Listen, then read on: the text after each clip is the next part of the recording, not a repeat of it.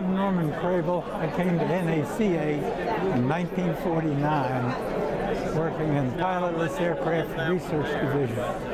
We were testing models of aircraft with transonic and supersonic speeds with rocket booster technique at Wallops.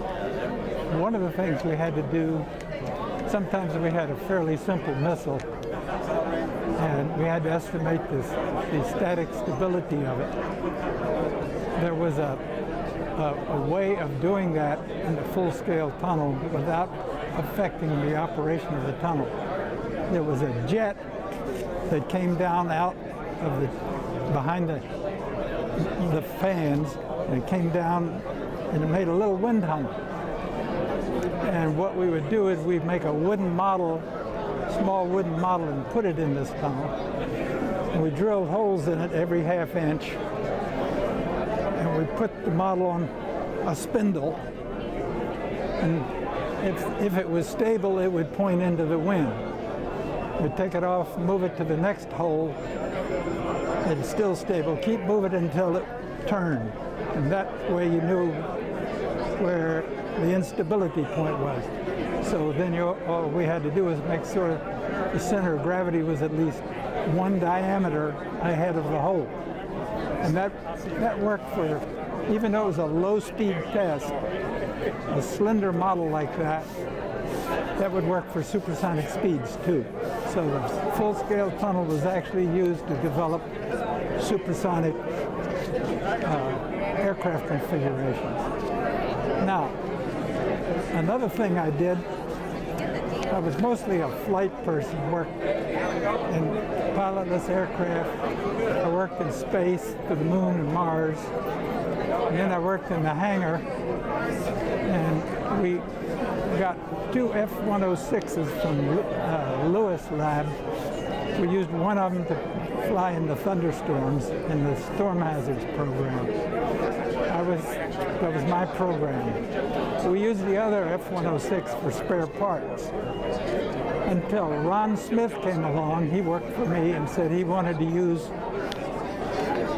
he wanted to, to take one of them and put it in the full-scale tunnel and test it for the leading edge vortex flap configuration. And the funny thing was, he didn't want the whole airplane, he only wanted half of the airplane. So we cut it in half, literally. Mike Klebitz in the hangar cut the thing in half. So we tested the F-53 with the leading edge vortex flaps. That was in the 80s.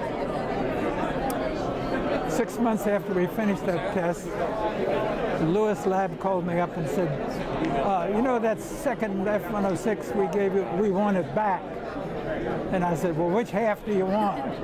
You did what? really happened that way. Now, my third experience in the full-scale tunnel was in testing the Wright Flyer with Colin Britcher and Bob Ash and that crew from ODU. We did that in 03. And then a couple of years later, I was still analyzing the flight data because I had a flight recorder on the 03 Flyer for three flights. I um, persuaded the Wright, uh, the Wright Experience at ODU that we had to test the canard by itself. And as a result of that, we learned something about why the airplane was so hard to fly. Yes. I'm publishing an AIAA paper called Unsafe, Unstable at Any Speed. And part of it is because of that, what I learned from the canard test. So I'm basically a flight guy, but I did have some interesting experiences in the full-scale tunnel.